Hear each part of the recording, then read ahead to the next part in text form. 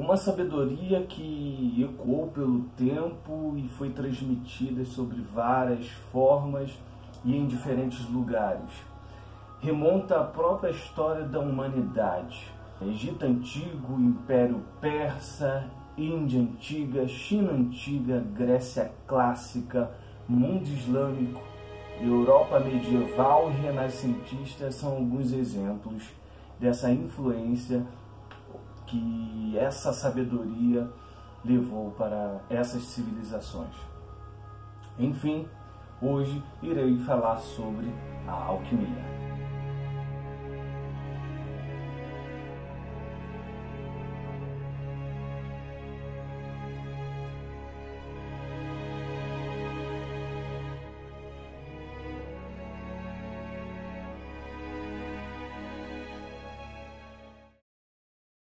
Olá pessoal, aqui quem fala é Gabriel Wendel e esse é mais um vídeo aqui no canal.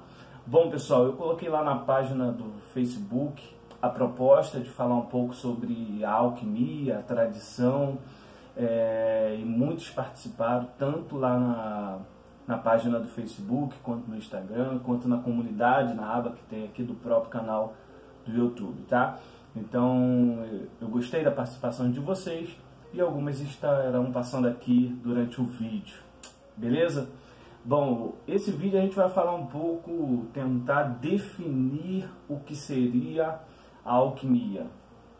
Como a alquimia, pessoal, ela trabalha em, em diferentes aspectos, o aspecto material, o aspecto filosófico e até o aspecto espiritual, fica muito complicado a gente definir o que exatamente é a alquimia. Entretanto, dependendo do teórico, dependendo de quem estuda, ou seja, pela perspectiva da razão ou até da espiritualidade, a alquimia pode ser, claro, fundamentada e aceita conforme essa base teórica, essa aceitação do, do, do, da pessoa que está observando a alquimia.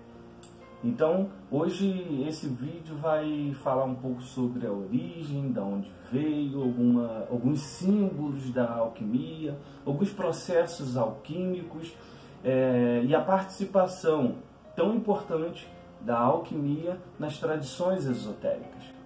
Então, basicamente, a alquimia foi e é uma prática voltada às transmutações das matérias, que se baseia em diferentes áreas é, Trata-se de uma arte de trabalhar e aperfeiçoar as coisas com a ajuda e o segredo da natureza. Então, o alquimista ele desvenda é, propriedades da natureza, respeita certas leis da natureza para fazer essas transmutações. Então, a alquimia sofreu um grande processo de teste, seja na, na área da medicina, da química, dessas transformações todas dos elementos. É, e ao mesmo tempo é evidente que a gente pode ter um olhar mais filosófico sobre isso. Transmutar uma coisa em outra é a base que a gente tem principalmente no livro O Caibalion, que é de uma polaridade a outra. Mas iremos entrar isso um pouquinho mais para frente. Vamos, por enquanto, dar uma introdução sobre esse assunto, tá, pessoal? Como mencionei anteriormente, é, a prática da alquimia pode ser encontrada em muitas civilizações. É, portanto, a origem mesmo da alquimia é incerta, pessoal.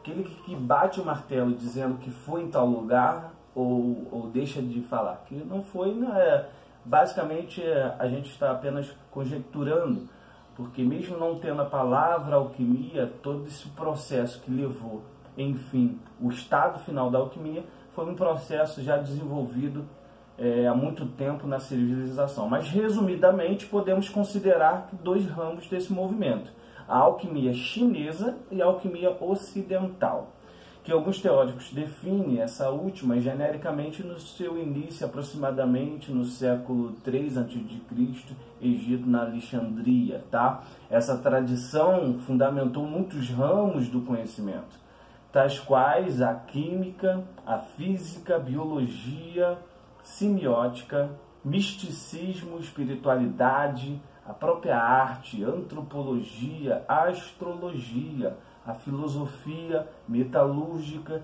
e a matemática. São alguns resultados que puderam florescer a partir das práticas da alquimia.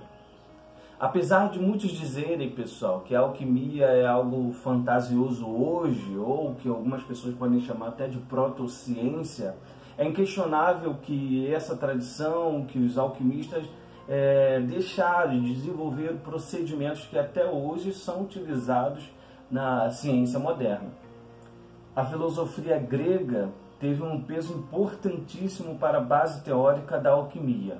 De Platão, eles tiraram a ideia da, sobre a metafísica, a transcendência, é, um papel importante também do Aristóteles, a teoria dos quatro elementos: fogo, ar, terra e água.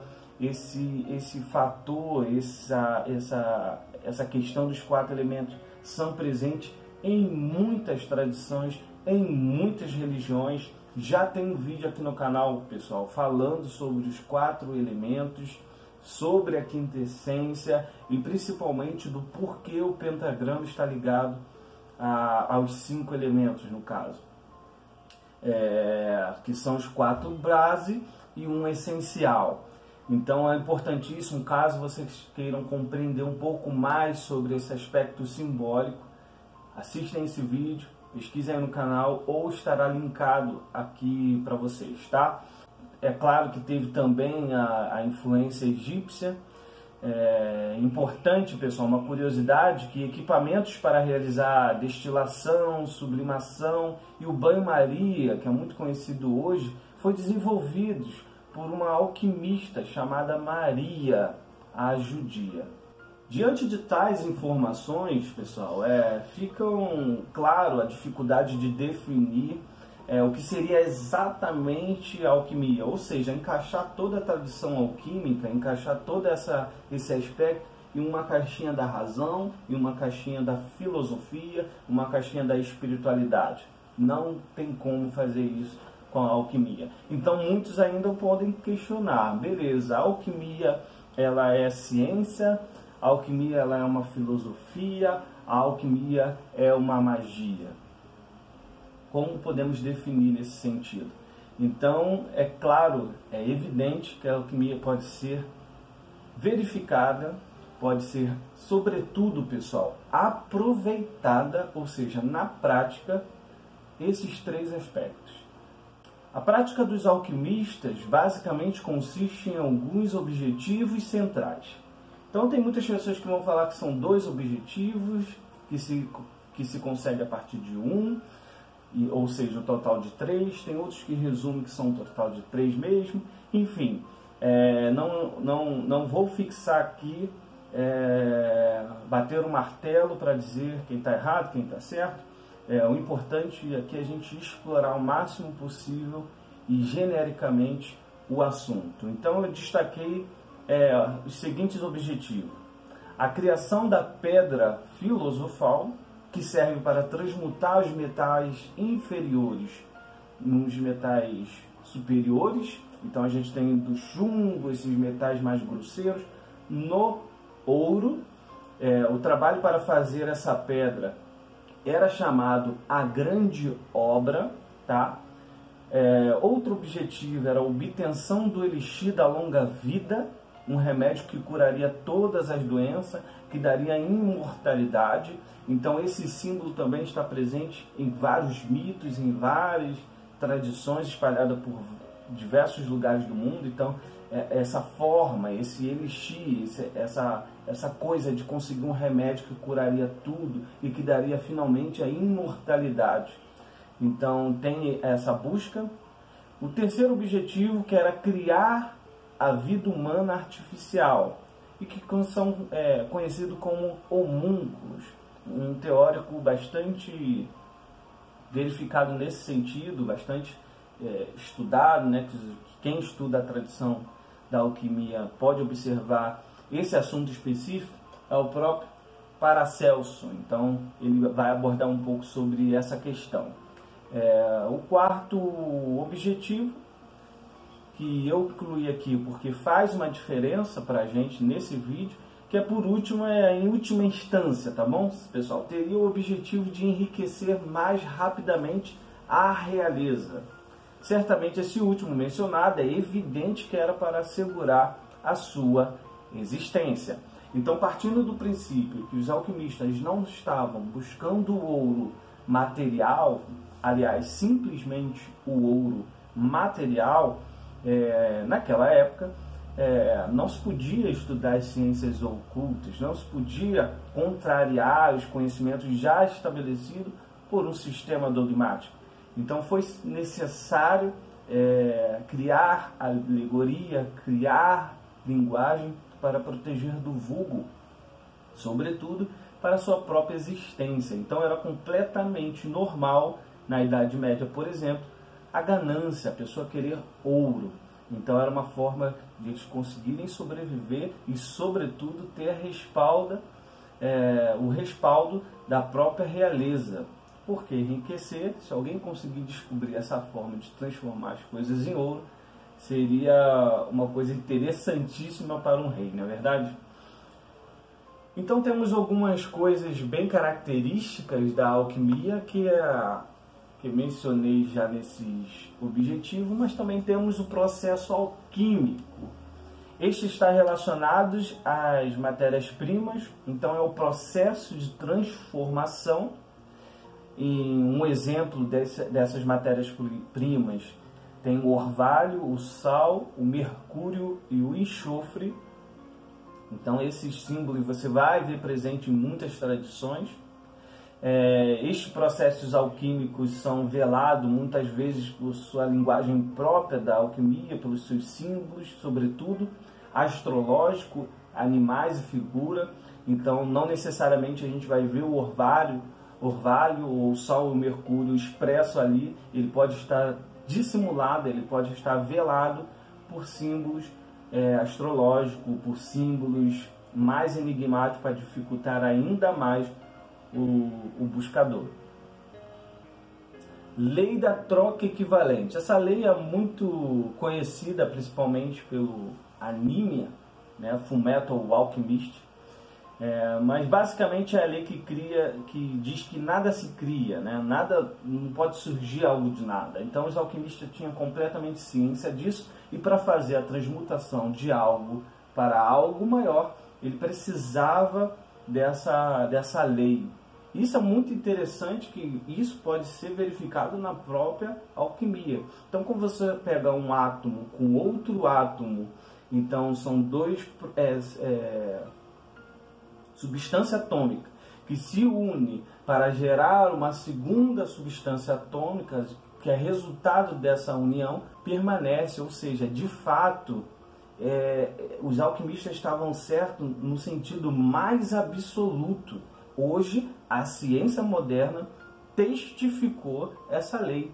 Nada surge, existe uma troca equivalente. Como eu disse, a alquimia ela pode ser levada no nível sim da prática. Esse é o objetivo do vídeo aqui, pessoal.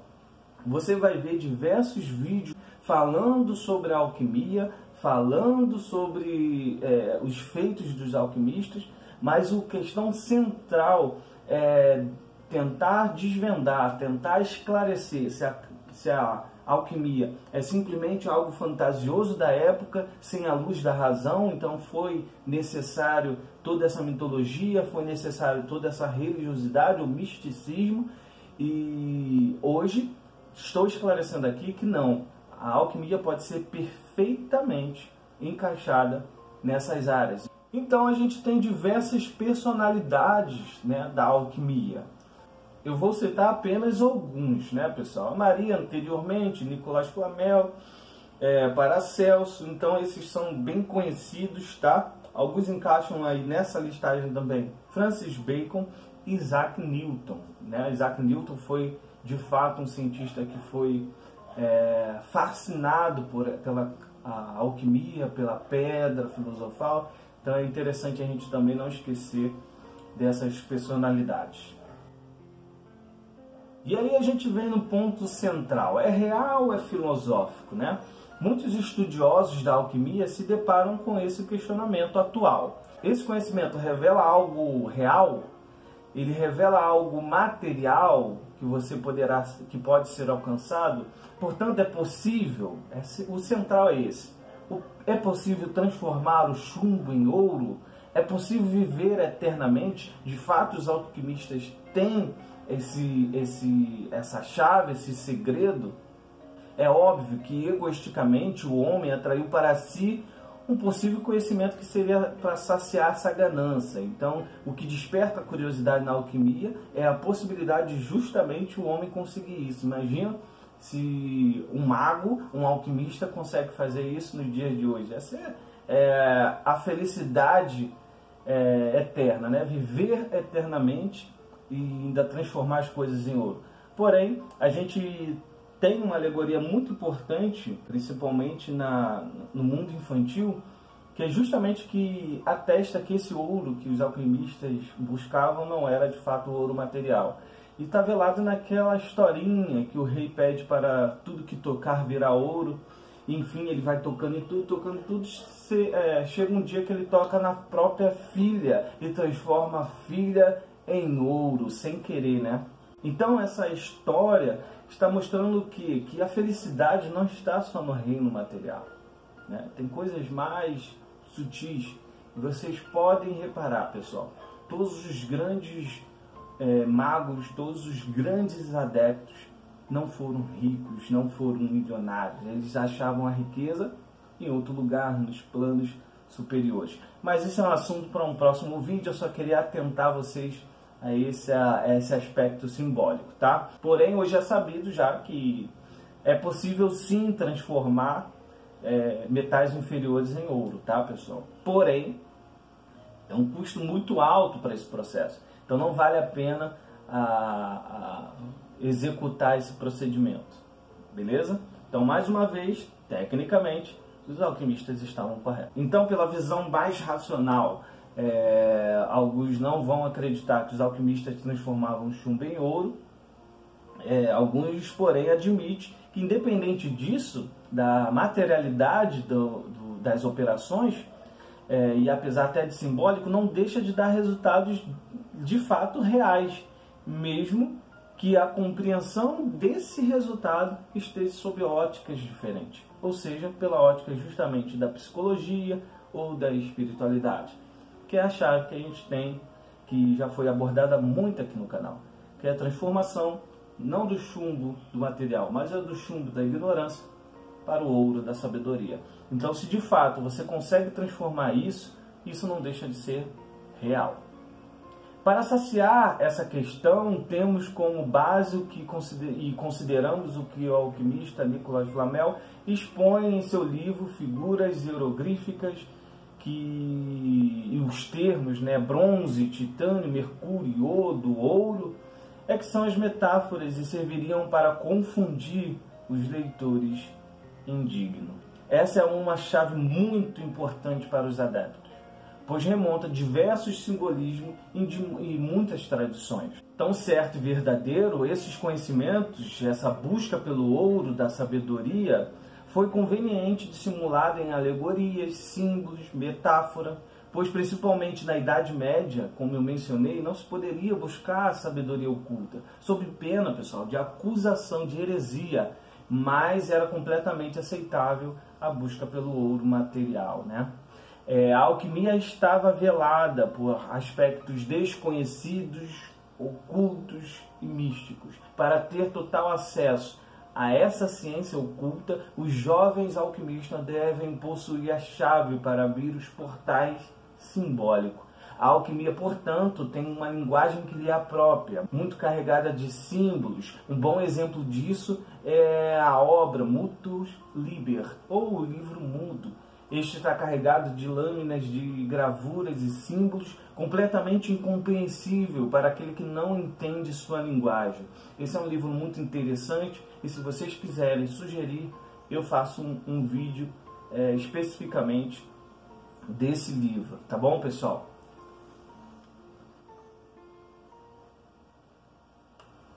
E para encerrar, a gente tem a influência é, popular do, dos alquimistas, né? Então a gente, por exemplo, tem Harry Potter, a Pedra Filosofal, o anime ou o mangá Fullmetal Alchemist, é, o célebre livro, pessoal, do Paulo Coelho, o Alquimista, que também já tem vídeo aqui no canal, tá bom? Falando sobre é, esse livro. Se você ainda não leu, dá uma, uma olhada nesse vídeo, acho que vale muito a pena. É, a gente tem aquela figura do mago, né, no castelo, fazendo suas poções. Então, aquela figura ali do mago é, com chapéu estrelado que a gente tem hoje em muitos desenhos, aquilo é um alquimista, um mago alquimista. Então, a gente herdou, é, os alquimistas deixaram esse símbolo presente na nossa cultura popular, tá? E para fechar, pessoal, tem a música do Jorge Benjor, Os Alquimistas Estão Chegando. Então eu quero recomendar três músicas que é muito interessante, leiam a letra, escutem, que é justamente essa, Os Alquimistas Estão Chegando, A Tábua de Esmeralda e O Rei é Rosa Cruz. Então é muito interessante, se vocês quiserem também, eu abordo essa música aqui no canal, beleza? A alquimia também influenciou muitas ordens, né? certamente é evidente que ainda há um campo de estudo esotérico fundamental para o caminho do iniciado. Então temos, por exemplo, a presença do simbolismo na Câmara de Reflexão da Maçonaria. Você pode assistir um vídeo aqui no já disponível no canal sobre esse assunto. Então a alquimia está presente é, na ordem maçônica.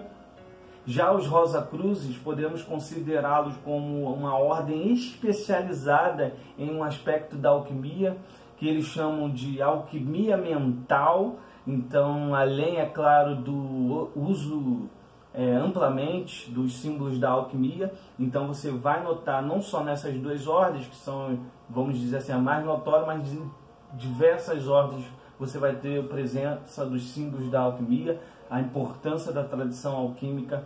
Bom, pessoal, aqui se encerra o vídeo. Eu espero que vocês tenham gostado. Abordei, tentei abordar de uma forma diferente é, o tema alquimia. Se vocês realmente gostarem, querem saber mais, eu faço mais um vídeo falando sobre a prática em si da alquimia e falando um pouco sobre os símbolos presentes na tradição alquímica, tá bom? Eu agradeço vocês, compartilhem, se inscrevam. Eu quero agradecer que a gente bateu 17 mil inscritos. Isso é muito importante aqui para o canal. Valeu, um forte abraço.